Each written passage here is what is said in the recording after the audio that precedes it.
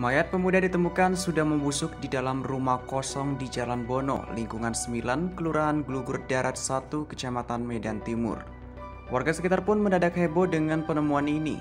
Kapolsek Medan Timur, Kompol Rona Tambunan mengatakan, mayat pemuda tersebut MI, warga Kelurahan Glugur Darat. Rona menyebut MI diduga tewas pada Sabtu 28 Mei 2022 lalu akibat kesetrum.